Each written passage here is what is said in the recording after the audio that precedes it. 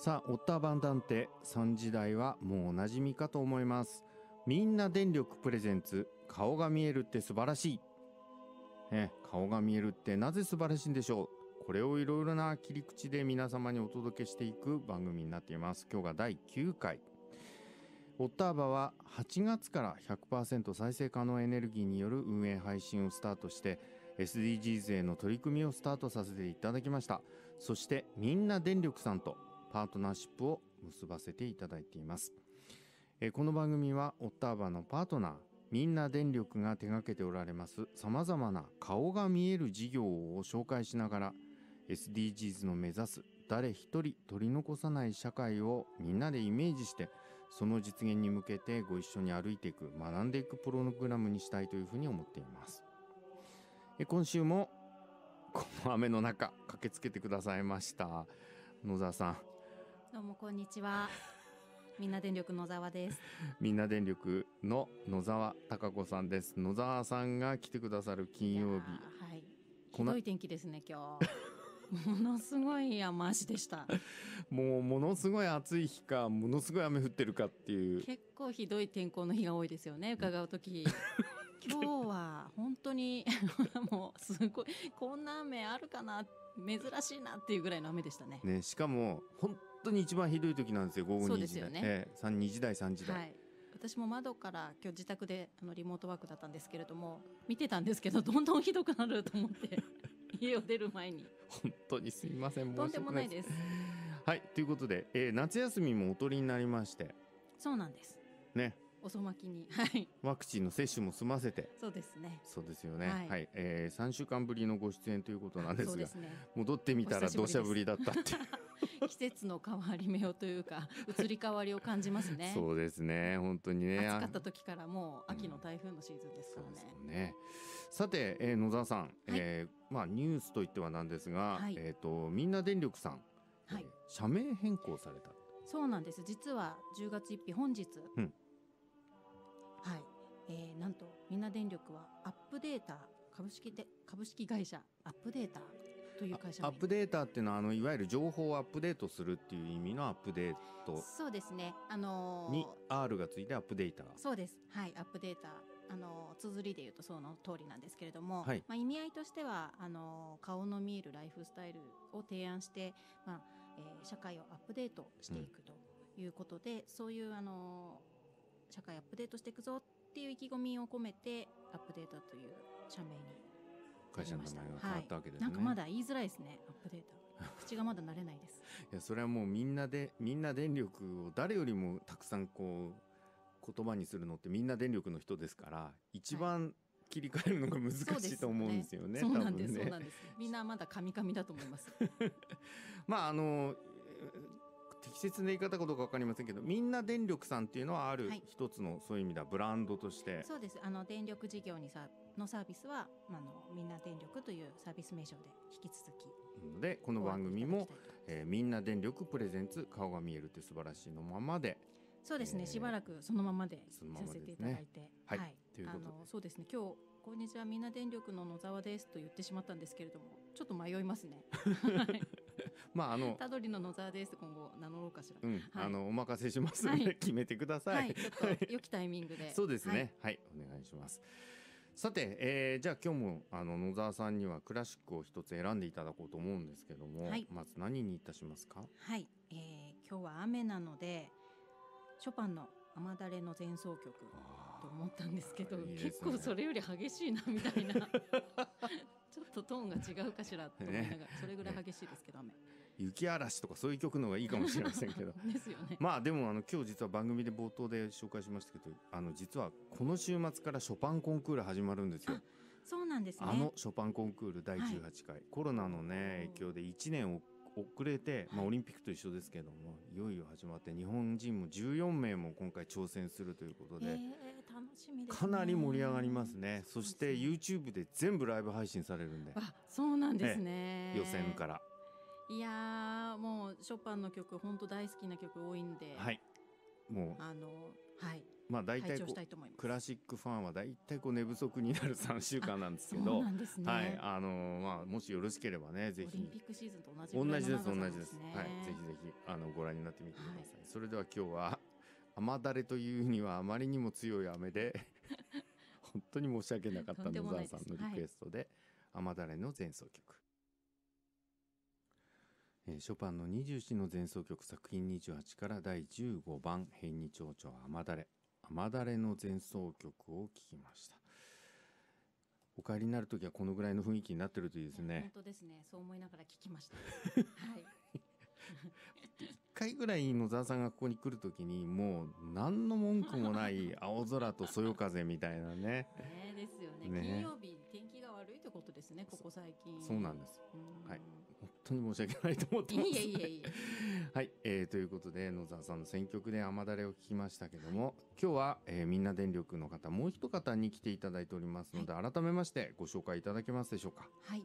二回目の登場です。はいえー、みんな電力の中で、えっ、と電気の調達ですね。はい、はい。発電所向けの営業をしております西田です。はい西田さんこんにちは。こんにちは、どうぞよろしくお願いいたします。お願いします。西田さん前回8月13日にはい、ご出演いただきましてはい。はい、えー西田茂彦さんです。パワーイノベーション部所属。発電所の調達をご担当です、えー移動中のあごめんなさい。稼働中の再生可能エネルギーの電力の仕入れをされている一方でお客様が発電所を選ぶときにその企業の思いやゆかりのある発電所を紹介するコンサルティングの方もされていてその地域の特色を文字にしたため発電所は語るという執筆もされている文字通り発電所のソムリエにして文筆家であると、ね、誰が呼んだか知らないが文豪と社内では呼ばれている。はい、でも、必ずしもいつも採用されるとは限らないはい。まだ社外にはなかなか発信できないですね。はい、という。気難しいんでねこの文豪 書き直しとか一切してくれないので。はい、なるほど、まあ、まさに文豪ですからね。ね自分の書いたものは一字一句、えー完全掲載しない限りは掲載を許さないということで、はい、という、えー西田さんと一緒に今日は2度目お送りしますけどもあの前回ご出演された時にかなり実は放送でも反響があったんですけど実際西田さんの周りはどうでしたか？そうですね。やっぱりラジオ収録で緊張したんですけども、うんあの同じ社員からはですね、あの西田さんお酒飲んでたんでしょうとかですね、饒舌でしたねとかですね、そういったコメントをいただきました。まあちょっと前回少しちょっと一方的に同じトーンで話してしまいましたので、はい今日はちょっとあのクラシック音楽にこう抑揚をつけてですね、お話ができればというふうに思っています。その話し方がもう完全にもう もう本当にに西田ワールドに早くも染まりつつありますけどね。はい、えーということで改めてねその、まあみんな電力さんのその顔の見えるえ生産者だったり顔が見える電力っていうのの定義といっては何なんですけど、ええ。まあ実際に調達をされている西田さんの方からまあ僕ら確認させていただきたいなと思うのであのお話しいただけますでしょうかね。はい。あのやっぱり顔の見える野菜をイメージすると非常に分かりやすいかな。野菜。そうですね、トマトですとか、はいはいはい。はい。あの野菜と同じようにこう電気もどのような人が作ったのかですとか、どのような場所でこう電気って作られてるですとかうんその電気が作られることでどういった社会貢献がなされるんですとか、はい。まあ、そういったものをまあ見えるようにしていると。なるほど。まあ。今もうねスーパーマーケットでも結構このええ。トマトは私が作りましたとか、はい、この枝豆はどこどこ誰々のチームで作ってますっていうのが出てますよね。そうですね、はい、まああれを電気でもちゃんとやろうということで、これ実は実際今その新電力と呼ばれているええ。会社って700社ぐらいあるって聞きましたけども、はい。ここまで徹底してやってるのはみんな電力さんでだけ。すね。はい。あの私どもだけだと思います。なるほどね、はい。つまり全てのその発電車の顔が分かってはい。その人たちがまあ要は環境破壊をしてないかとか、はい。地域住民の皆さんとトラブルがないかっていうのを全部確認してそうですね。いるから、はまあ要は私が作りましたって言える人たちってことですね。そうですねはい、うんそういう人たちを。やっぱ電気って究極のコモディティ商材ですのでどうしてもやっぱり電気の消費の方にやっぱり目が行きがちだと思うんですねなるほどはい価格安い方がいいですとか、うんまあ、そうじゃなくて生産者の方のあのよりフォーカスしていくとうんいうところが特徴かと思います。特徴なんですね。はい。ということで前回第1弾ではですね例えばその顔の見える生産者のご紹介として例えば石川啄木ゆかりの地にある風力発電所とか、はいあるいは61年ぶりに水力発電を復興させたあの忍者のね、はい。里伊賀市三重県の伊賀の人たちの情熱についてとかすごく素敵なストーリーをお話しいただきましたんではい。もう今日はもうあの、えー僕もあの野沢さんと一緒で黙ってますんでもうどんどん喋ってっていただければですはいくどいとか わかんないとかそういう時だけ突っ込みますんでどんどん言っていただければなというふうに思うんですけどね早速お話聞かせてください。はい、ありがとうございます。まずの電力生産者の価値基準というところをまず前提条件のお話しさせてくだ価さい。値基準という価値っていうのはバリューそうですね、バリューですね。ははいい。まあ、とある本に書いてあることなんですけども、うんまあ、価値といっても大きく3分類、3つの分類に分かれるんじゃないかと。価値には3つの種類があると、えーはい、でその本によりますと、一つは有用性の価値。有用性。有用性ちょっと分かりづらいんですけど、まあ、その資本主義がメインに扱う価値で、まあ、役に立つかどうかと。はいはい、まあ、まあ儲かるとかね。そうですね。そうそういうこと経済、経営ではもう外せない価値だと思います。有用性ですね。はい、で2番目はですね社会的な価値ですね、うん。まあ、砂漠に木を植える人ですとか、はい。まあ、個人ではなくてこう社会全体の持続性を高めるような活動ですとか、はい。まあ、そういったまあ価値っていうのが2番目と、社会性。はい、で今日お話ししたいのはですねあの内面的な価値ですね。なるほど内面的には非常にぼやーっとはしてるんですけども、うん。まあ、愛情ですとか共感ですとか、うん。まあ、興奮好意信頼とかですね、まあ、実生活に役立つわけじゃないんですけどもその個人の方にとって内面的にポジティブな効果を及ぼすものとなるほどなるほど。はいはい。これはあれですかね。生産者の方の内面性。そうですねはい。ということですね、ええ。要するに儲かるとかそれから世の中の役に立つっていうものだけじゃないそうですそうです。動機で、はいえーそこに価値を見出して、えーっと再生可能エネルギーの生産発電を始めた方。そうですね。っていうことなんですね。はい、1番2番よりはやっぱ3番の内面的な価値ってなかなかこう情報発信なされない、なるほど。はい消極的にな,、なってしまっているんじゃないかなと思ってまして、はい、でそうなると受け手側の消費者にとって顔が見えない状態になっているとああなるほど、どなるほど。はい、要は本音がわからなくなってきちゃうわけですね。そねはい。あそれをじゃあ西田さんがその発電所の皆様に取材をされたり、はい。実際に対面されたりして、えー情報をまあ収集してそう顔が見える化してそうですね。おられると。はいいうことですね。特にこの3番内面的な価値がこう隠しきれない発電事業者の中にももちろんいらっしゃいまして、はい、そういう方のお話してるとやっぱもうあのこの辺の情報をお届けしたいなとなるほどなるほど。じゃあちょっと早速具体的にいくつかお話しいただいてもいいですか？はいはい、えっと、まずですね GB バイオマス発電所という徳島県にあるバイオマス発電所徳島県え GB バイオマス発電所。はい。え230キロの、まあ、発電所なんですけど、はい。まあ、この会社さんはあのフォレストバンクといいまして、うんあの徳島の森林も管理しているのが会社ですなるほど。はい。で従業員の方が面白くてですね、まあ、この方はあの本業の以外でもですねあの海や川のダイバーをやってまして、潜ってるわけですね。そうですねもう。本当に聞いた話の汚い水、まあ、ヘドロの中にもこう潜水してですね、はい。生息する生物や頻その頻繁に観察しているとなるほど。はい。で聞くと海や川の自然環境を守るためにやっぱり山の改善が必要だというふうにおっしゃってましてああ、これは聞いたことがありますね。ええ結局山っていうか土地の汚染がもう全部流れ込んじゃうっていうのがね川やはい海だったりするから、まずは山から改善しなくちゃいけないと。はははいはいはい。でもその時点でもうあのすごいなと思うんですけど、ええ。もっと聞き出してみますとあの、うん。この方は水槽でお魚を飼ってるみたいだったんですね。なるほど。はい。確かあの、アナ太郎って名付けてたと思うんですけど。あなたろうっていう魚を飼っている、そうですそうです、はいでよくと魚の餌をですね、はい。その従業員の方がこう川に潜ってですね、はい、はい、餌を自分で取ってですね与えている なるほど。はい。ともうこの話を聞いた時ですねもうなんか自然環境なんとかしたいっていう、まあ、思いをねねものすごい伝わってきましたね。はい、なるほど。これね、皆さんもぜひ、じゃあ実際にこう、あの、もう一度改めてね、この発電所リストの中から見ていただけるといいと思いますけど、GB バイオマス発電所はいということで、えー海や川の実際は、こう、なんていうかな、環境改善に、まあ、もともとは、えーてこう、不信されておられて、やっぱり、まず、陸からだろうってことでこう、はいあの綺麗なまあ再生可能エネルギーの発電を始めたっていうことそうですね本当にね。従業員の方のもう本当にあの一つのセリフなんですけど、うん、はいなるほど。そういうのを伝えていきたいですね。はいそしてあなたろうとはい、あなたろうくんがいるとそうですいうことですね。はい、はい。続いては、はい。あとですね飯舘電力の発電所も紹介させてください。これはあのえ原発事故でまあ名前が知られるようになった飯舘村。はいはい。でやっぱり全村避難を強いられてですねはい。もともとあった地域の畜産業、まあ、これ飯舘牛なんですけども、うん。やっぱり壊滅的なダメダメージを負ってしまったと。でこの畜産業をやっぱ復活させたいということであのソーラーシェアリングですね、うん。あの発電所の下で農作物を育てていると。はい。なるほど。はい。あ要は太陽光発電パネルを上に置いて、その下で農業をやってそうですね。ははいい。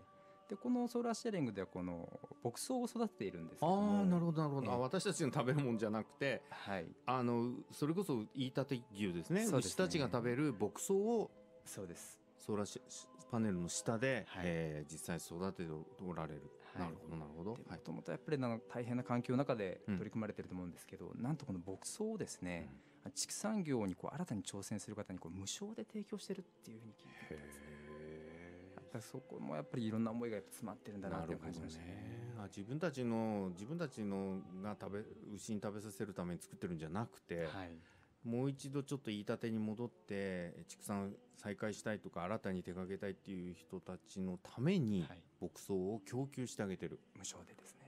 はあなかなかできることじゃないなそれは。うん売ってちょっとでも儲けようかっていう気になっちゃいますもんねやっぱりね。実際にそれでそのもその牧草を使ってこう新たに畜産を始めてる方っていうのもいらっしゃるわけですよねしゃるんですね。。はい。うんこれもなかなかできることじゃないなと思います。これ、はい飯舘電力、そうですね。はい。飯舘電力という太陽光発電をされている、えー発電所ですね。どんどんいきますか。はい。はいあとですね、あのこれ JA さんなんですけど、晴れの国岡山農業協同組合さん。はい。こちらもあの電力仕入れさせていただいたばかりなんですけども、はい。まあ中国地方に小水力発電所っていうのは90箇所ぐらいあると言われてまして、はい。全国的には比率が非常に高いんですね。はあ、そうなんですか。はい、で私もなんでこの中国地方でそんな高いんだろうとうん。思ったらですね、この太平洋戦争後にですね中国地方でこう発電をして全量売電をして電源をたくさん作ろうという啓蒙をされた方がいらっしゃあるんです。そういう先人がいたんですね。先達が。はい。はい、あのその方のお名前小田史郎さんという、小田史郎さん。ええ。でなんとこの方の弟さんがですね日本人初のオリンピックの金メダリストの小田幹雄氏だはいはいはいはいはい。名前は知ってます、ええ。えなんかあとあの昔の写真も見たことありますけど、ええ。日本人で初めてオリンピックで金メダル取った人ですね。そうですそうです。小田幹雄さん、この人のお兄様。お兄様です。ねはい。で私一番こう感銘を受けたのがですねこのお兄様の小田様はですね、うん。この戦後にご自身でですねはい。自費出版してはい。自費出版してやっぱり国産エネルギーが大事だということで、はい。中国地方で小水力発電所の電源開発っていうのを啓蒙していったとうんだけどこれね環境問題がこう声高に叫ばれるようになってからじゃない時代ですよね。はい。もうまさにこう日本がこの環境破壊を始めてしまったあたりでもうすでに啓蒙されあの要はあのそのなんか行く末を案じて、ね。えー再生可能エネルギーを推進しようとしていた人がいたんですそうねで。すね、まあうん。ここの後ちょっと私の仮説なんですけども、はい。やっぱり太平洋戦争と悲惨なあの戦争に突き進まざるを得なかった国産エネルギーがやっぱりなかったとはい、なんかその無念がやっぱりお出しにもやっぱりあって。あって、でどうしても伝えたいからもう自費出版してうん。いろんな方に伝えていったんじゃないかなというふうに想像してます。はい。電力の自給自足は本当にこう日本においては悲願だったって言いますものね。ええそうですね。はい、というこの小田史郎さん、はい、小田幹雄さんのお兄様、そうですね。はい。はい。それがでも元になって今中国地方ははい。水力発電がすごく多そうですね。小中水力がやっぱり比率高いという。高いんですねええ私実はこの事実を知ってですね。えでまあテレアポしてあの中国地方に行きまして、えはい、このあのエピソードにも感銘を受けたとうんいう話も担当者としまして、はい、そしたらその発電事業者さんもあじゃあそういうことであればっていうことでみんなでエネルギー供給し供給をがスタートしたそうですねということですね。なるほどなストーリーがあるな本当に。やっ。ぱりこの子であれですねあのやっぱり自費出なんか思いを伝えてて自費出版なんだなって思いましたね。すごいご自費出版したらいいじゃないですか。ということで西田さんとしてもぜひこの自費出版に向けて、はい、はい、取り組んでいきたいと。そういうことです。社内でボツになってもはい、へこたれずに。伝えたいものがあればやっぱり自分で作っていくと。めちゃめちゃ共感してるじゃないはい、なるほどね。これ西田さんだからめちゃめちゃ共感したっていうところも結構あるかもしれないですよね。うん。そうか。でももしかしたらあの中国地方のリスナーさんもたくさんいらっしゃるけど結構身の回りにこの小規模なええ。水力発電の、あの発電所がお近くにあるかもしれないですね。そうですね、うん。JA が発電事業者さんですね。発電で事業もやってるわけですね。そうですそうです。あなんだ、へえありがとうございます。さあ、えー、どうしましょう。ここでちょっと一曲？あの この間実はあの番組終わってから聞いたんですけど西田さんって指揮されてたことあるんですって？はいあの中学校の時ですね、うん。あの1年に2回歌声交換会とコンクールがありまして。そういうのあったあったあった。なぜかあの1年から3年まであのずっと指揮者やってまして。本当ですか、はい。へー練習したりしました？お母さんの菜箸とか借りて。菜箸でもなんかテレビで見ましたね。なんかはい。そう。はい。ということで今日、えーそんなですね、クラシック音楽もお好きな西田、えーコンシェルジュは何を選んでくださったのですか、はい。えっとちょっと時代あの季節的にも先行き過ぎだろうっていう話なんですけど、はい。ビバルディのですね、あの四季からの冬を。冬の第一楽章。はい。これ選んだ理由は？やっぱり筆が進むからですよね。本当にも。う本当どうしてこう期待した通りのこと言ってくれるんだろう。嬉しいな。はいそれでは、えー文豪西田さんからのリクエストはビバルディの四季の冬のじゃあ今日は第一楽章を、えーご一緒に聴かせていただきます。この曲を聴きながら筆を走らせるわけですね。はい、文豪西田茂彦さんのリクエストはビバルディの競争曲集四季から冬の第一楽章を聴きました。でもなこの曲がこう分泌にすごくなんかこう刺激になるななんとなくわかるような気がしました。なんか湧き起こってくる感じが。うんわかる。わかるすごくわかります。いやいい選曲だなと思って聞いてました。さあ今日は、えーみんな電力さんのですね発電所のソムリエ西田茂彦さんのお話を伺っています。あのー西田さんすごくそもそも話でちょっと恐縮なんですけども、はい。あの発電所って言ってもそれぞれこう一つ一つ違違ってるし、さっきバイオマスっておっしゃってましたけども、まあ太陽光とか水力とか風力とかバイオマスとかありますけども、こういうのはまあまあもうちょっとあ分かりやすく僕らも知っておけたらいいなと思ったのでね、ちょっとこの電気の、まあ、調達をされてるはい。西田さんに直接教えていただけるとありがたいんですけど、ありがとうございます。やっぱり電源再燃発電所と一括りに言っても電源種別がやっぱりありまして、はい。種類ですね、うん。まあ、水力発電所ですとやっぱりこう水の高いところが低いところへはい、高低差を利用して水の流れる量ですね。うん。それでタービンを回して発電所をそうですね。はいはい。まあ、風力といえばまあ風の力。はい。でバイオマスっていうとですねあの木材も燃料にしてるんですけどもはい。もともとは家具とか建材など燃に使われるんですけども、はい。そこで使われないのこう利用価値がなくなったような木材をこう燃料としてあ利用しるんですね。はいはい。そうすると例えば木切り出して、い。それで家具を作ったり、いろんなこうまあ板を作ったりして残っちゃったものですね。そうですね。はい。それを使って発電をしているっていうねことなんですね。はいはい。はい。さっきのあの四国の GB でしたっけ、ええ。あそこなんかもそういうことなんですね結その局。通りですね。はい。あー結局あそまあ四国ってあの林業すごい盛んじゃないですか。はいそうですねじゃあそこで切り出しちゃった残りのカスみたいなものが、はい。要は汚染につながっちゃうっていうことなんですかね。うーんそうですね。まああのまあ森林保全の適切な管理という意味でやっぱりこう、適切にこう木を伐採すれば必要がありまして。伐採していくっていうことで。そうですね。で日の光をこう与えはいはいるようにっていうことで、まあ、伐採をするんですけども、まあ、売れるものはもちろん売るんですけど売れなくなったものも発電に回していく。発電し回していくとはい。いうところですね。バイオマスっていうと結構難しいんですが、はいい、ろんななんかものが含まれてるんですね。今話聞いたら。そうですね、はいあの木材だけでなくてあの下水汚泥ですねちょっと食一の方申し訳ないんですけども、はいはいあの人間の排泄物を利用してそれを燃料としてガス化してはい。発電所をつ作っていく作っていくと。はい。はい、これもやっぱり面白い発電所かなと思いますね。なるほどね。日本にも結構あるわけですね。はい下水汚泥を燃料としている発電所。そうですはいね。もともと日本人ってその明治より前はその排泄物はやっぱりこう宝物つまり堆肥ですね、堆肥ですもんね。堆肥としてはい。利用してきてっていうのがやっぱりありまして、はい。今ですとそのなかなかもうそういうの嫌だよってなっちゃうかもしれないんですけど、うん。それを排泄物ですらこう価値化していくと、うん。まあ、そういったあのなんでしょうこう価値のないものにこう価値を見出していくっていうところに才能発電所のやっぱ面白さっていうの面が白さがある感じますね。わけですはい。なるほどなるほど。バイオマスもね僕ちょっと全然違うなんかこう微生物のこう発酵みたいなもので発電してるのかなと思ったけど、ええ。そんな単純なもんじゃないんですね。いろんなバリエーションがあるというか、はいまあ、食品廃棄物なんかも燃料にするようなあ発電所があたね。要は残っちゃったものですね。は、はい。いあのものも今使って発電のものに使っていると、そういった発電所もあの時間があれば喋りたいんですけどちょっとなかなか難しい 文豪は今日はねなんか時間をすごく気にしてくださっててありがたいんですけど。またじゃあちょっとバイオマス特集なんかもぜひね、はい。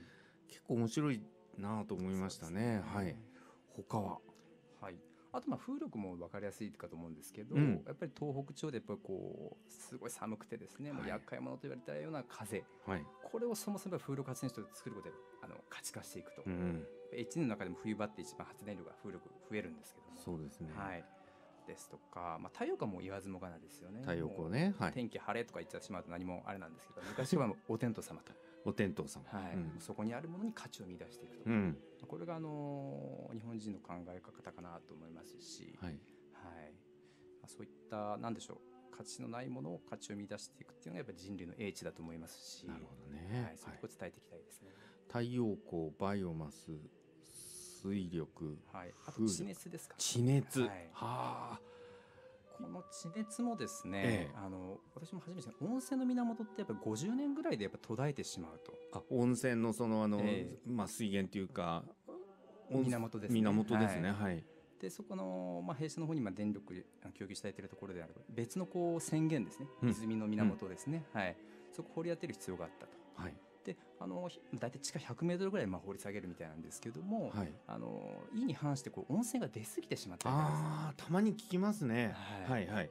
でこう出過ぎてしまったものどうしようなんかエネルギー漏らすのもったいないよねとはい。いうところでじゃあちょっと地熱発電を作ってみようかと、ああなるほどなるほど。はい。はい、まあ、そういったなんでしょうあのもったいないというかですね、うん。あの有効活用していこううん。というのがもうあの面白いかな結構じゃあこれはあれですね。いわゆる僕らがまあ喜んでいく温泉地っていうんですかね、温泉のがまあ売りの観光地なんかではええ。結構あることなんですね。そうですね、はい、九州の別府ですとかそのあたりはやっぱり別府はまあ地熱いやあまあわかるけどとにかくすごいですもんね。そうですね。本当に。はい。あそうかそうか。ですあそこも出過ぎてるから、はい。その熱を使っはてい発電を実際している、ただやっぱりこう現地見なくちゃいけないのでやっぱり温泉に入って私自身がやっぱり入ってですね。ですね。どういった温泉かっていうのはやっぱりこう調べる必要があるのかなあるかなと。はい。いやないと思います。ちょっと会社の中で割れてますけどね 意見がね、うん、これは仕事かやすそうそう。そう観光か。仕事上で必要はそんなにないと思います。まあ野沢さんがね日本酒飲むのと一緒ですよね。そうですね。仕事上大事なんです。そうです。ねまあ立場によって全然発言が違うのも面白いですけどね。でも日本も確かにこうこれだけ火山国だったら、ええ。この地熱発電の領域もまだまだきっと可能性あるでしょうね。そうですね。うん。はい。まあ、あのこれからまあ洋上風力ですとか洋上風力。はい地熱発電のやっぱり比率高めていこうっていう、うん。まあ、政策ですとか、はい。い、ろいろ議論なされてるかと思いますね。なるほどね。今日すごく面白かったのはそのこれはある意味日本人の考え方とおっしゃってましたけども、そのもったいない。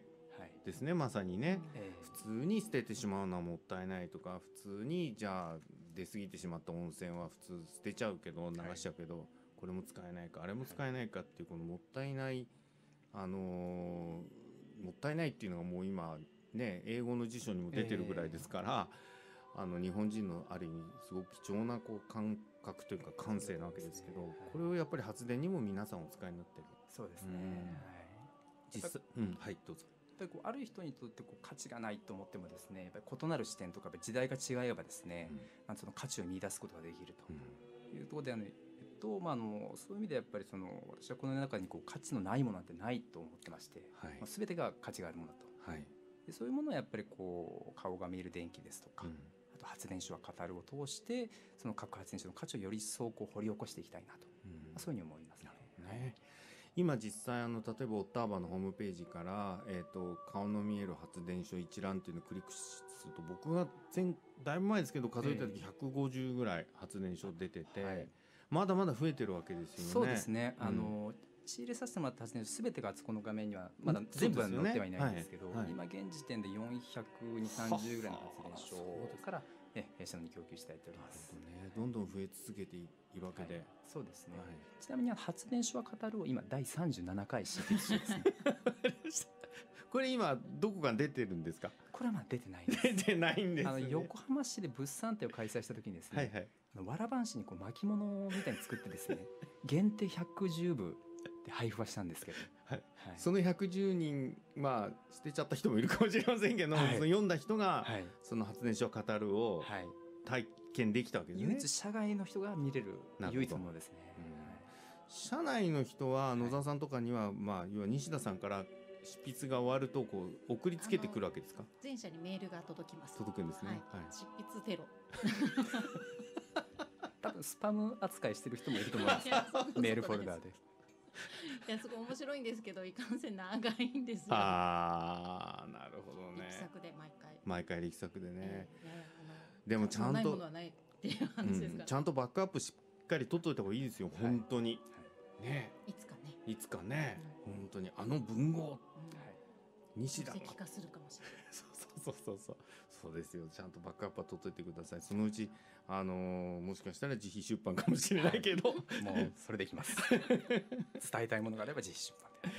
はいということで今日はまあみんな電力のねある意味ではまあもう本当に中心バッターでいらっしゃいます。電気の調達をされている、えー西田さんに、えー顔の見える生産者とはどういう人たちなのか。その人たちはどんな思いで、まあ、内面的な価値っていうね切り口で今日はお話をしてくださいました。最後にぜひあのリスナーの皆様に西田さんの方から一言メッセージいただけるとありがたいんですけども。そうですね、まあ、ちょっと先ほど申し上げた通りやっぱりその、まあ私も学生時代もやっぱりこうなんか自分ってどんな価値があるのかなって悩む時期もやっぱりありまして、うん。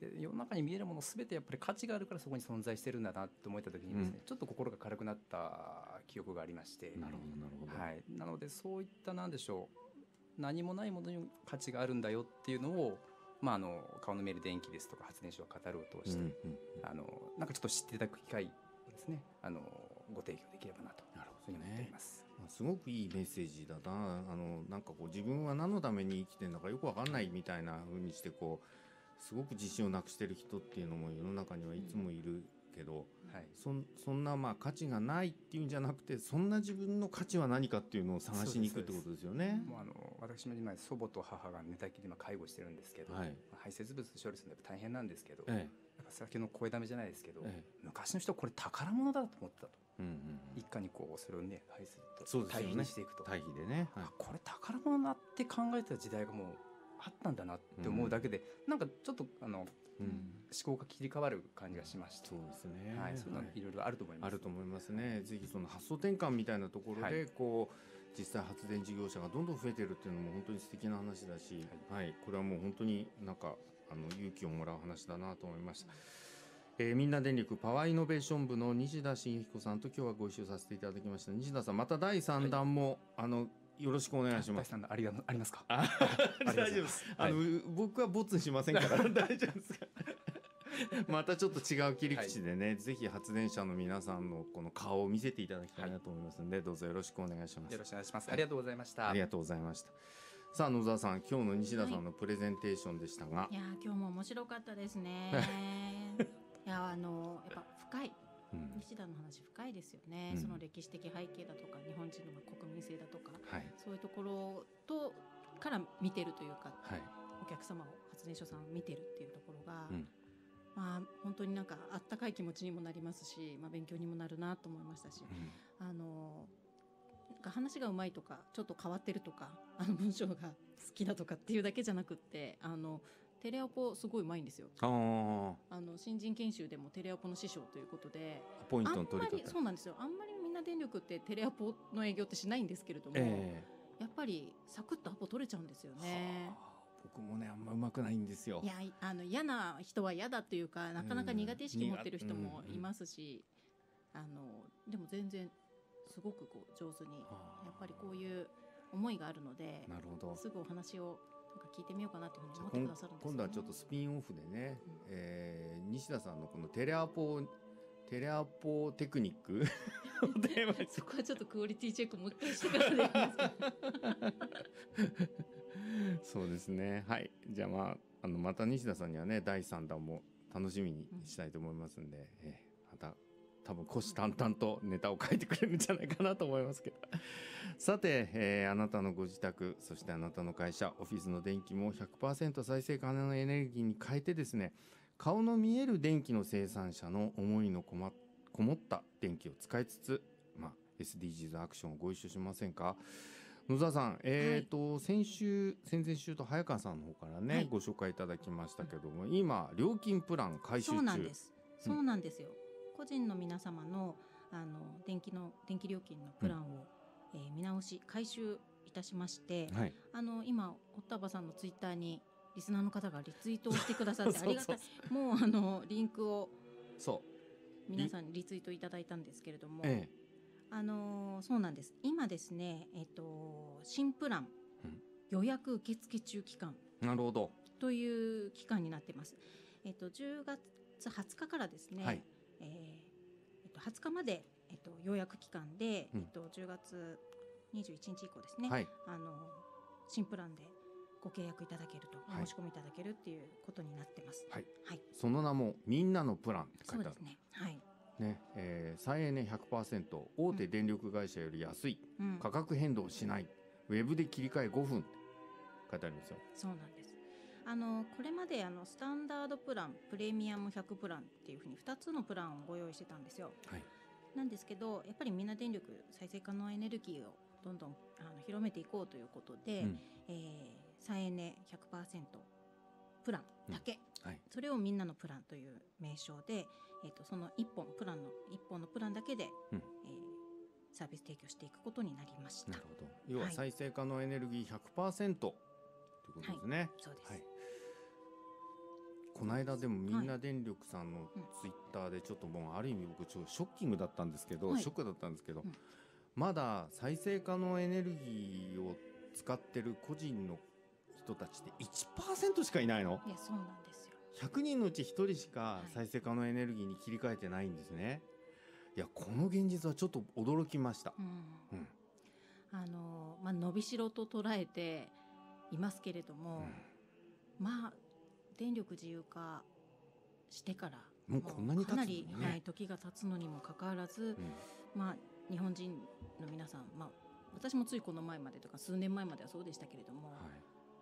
再生可能エネルギーというものにこれほどなんでしょう距離があるというか、えご自分には関係ないなっていうふうに思っているっていう証ではありますよね、うん。残念ながら。これがね例えば料金がものすごく高いとか手続きが面倒くさいとか、いろいろネガティブなポイントがあるんだったらやむを得ないかなと思うけど、もうこの番組で再三お伝えしてますけど料金はまあ変わらないか場合によっちゃ少し下がる可能性もそうあるし。ですね。あの新プランになったので、うん。あのさらにやっぱり料金安くなるよ。みんな電力の方が安くなるよっていう方の方が多くなるんじゃないかなと思います。なるほどね、それから面倒な手続きもなくてスマートフォンやパソコンでご自宅で5分で切り替えられるはい、とそいううことです。ね。まあご存知ないですよね皆さん。やっぱりあの戸建てで自分の家の屋根にソーラーパネルがないと再エネは使えないっていうような誤解をうんされてる方もいらっしゃいますし、まあ、再エネ切り替えたいけれども今の電力会社さんとのまあなんか立ち会いの解約作業が必要なのかとか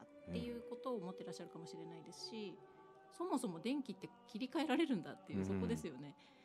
そういう認知もされてないのが現状だと思うので。ねうんこれがもう本当に悩ましいところなんですけれどもこれあのみんな電力一社だけあの頑張ってもしょうがないというか、はいはい。なかなか壁が厚いので、うん。これはあの小泉大臣はじめあの省庁の皆さん、うん。あの政府の皆さんと一緒にあのそこの、まあ、誤解というか、うん。認知の改善というかしていきたいというふうに思ってます。ね。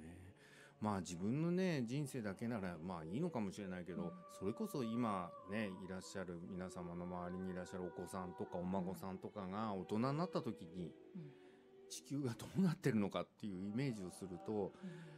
私もやらなきゃいけないなって僕ももうやらなきゃいけないなっていう気に多分なると思うんですよね。そうですね。うん。意外とその再エネを使うことで、あの家庭から排出される CO2 の約半分があの削減されるっていうふうに算出されてますので、金ですよね。そうですね、なんかまあ私も再エネ使ってあのみんな電力の電気と契約しているのでなんか罪悪感も半減しますし、まあなんかやっぱりそれで CO2 構成に先送りしてないっていうことで、少し気は楽になりますよね。他にもやるね。やれることはたくさんあるんですけれども。思いますけどね。まあ結構気軽にあのたくさんの貢献ができることだとは思います。ね、まあこの番組では毎週そういうふうに申し上げています。あの一回ちょっとぜひですね、新しいプランが出てくる前に詳しくね、はい、あのこのプランについてもお話を伺いたいと思います。し。そうですね。はい。あの今予約をしていただくとあの500円はい。の、えっとキャッシュバックといいますか、電気料金割引もしくは500円分をあの森林植林にはい。寄付できるでという。そのまあ500円のオプションをプレゼントさせていただくので、あのぜひ予約いただくと、はい、えっ、とみんな電力さんのホームページに行って、それであの、こ個人のななんて言うんでしたっけ、えっ、と、はいお申し込みですね。お申し込はいみというところ行くと、えっ、とそういう予約のところがそうなんです。はい。ホームにございます。はい。予約ホームに行けるとはいいうことなので、そうなんです。あまあの、すいません。えっと予約をしていただくときにそうですね。メールアドレスうんご用意いただければ、メールアドレス入力をしていただいて、アドレスを登録するっていうポチって押していただくと、えっとメルマガに登録していただくと今のすいません500円のはい割引もしくは、えっと森林保全活動に500円寄付するよっていうどちらかのことをあの選択いただけます。はいということで、はいえー今予約受付中ですのでもしよろしければ、まあ、この放送を聞きながら本当に簡単なんで、はい。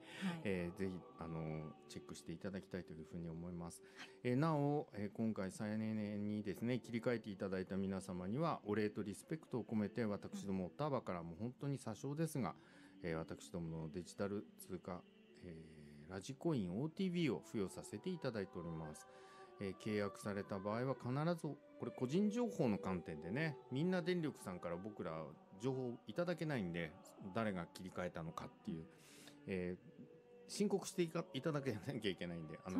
再エネに切り替えましたよオッターバの方に必はいず連絡を入れていただけますと、うんラジコイン OTV を付与させていただきますので、はいどうぞご検討ください。はい、あ、ごめんなさい。もう一回正確にお伝えしていいですか？はい、どうぞすみ。ません。あのメールアドレス登録とか予約の話です。はいえっ、と19日火曜日ですね。10月19日までに先ほどあのお伝えしたようなえっ、と個人のページですね。うん。ところからメールアドレスを登録するというメルマガに登録をいただいて、はい。かつえっ、と10月20日からえっ、と11月末までに、うん。あの正式にお申し込みをいただいたっていう方に、はい、先ほどの500円特典させていキャッシュただきますバックかということですね。森林保護への、はい。あのまあその500円寄付ですね。寄付ですね、はいえーというオプションがつくと。いうことですね。ははいい。えーぜひご覧になってチェックしてみてください。さあそろそろお時間になりましたみんな電力プレゼンツ顔が見えるって素晴らしい番組では皆さんからのご質問ご意見アイデアをお待ちしております、えー再生可能エネルギーについての疑問質問今日は西田さんのおかげでいろんなことが分かりましたけどもまだまだまあさっきのねお話じゃないけど1%しか再エネを使ってないってことはやはりまだまだ足りないものがあるんだろうなと思いますんで、えーその辺の知識だったり思いを共有していきたいと思ってますので何か疑問になったことがあったら必ずもうどんどんこちらまで聞いてください。それから、えーっと野沢さんが担当されているタドリという、はい。まあえーネットのねあの UR あのーオウンドメディアっていうのかな、えーみんな電力さんでやっておられるタドリというサイト。こちらはその名の通りたどっていくわけですけどはい。そうなんです。今盛り上がってるのは何ですか？ちなみに。えーとですね、ちょっともうすぐ公開しますよっていうところなんですけれども、いくつかあの顔の見える商材ですね、うん。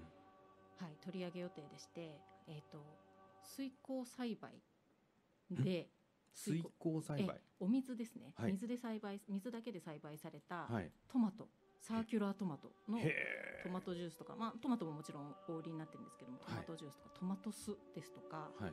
あとそのビーガンシャンプビーガンシャンプはい。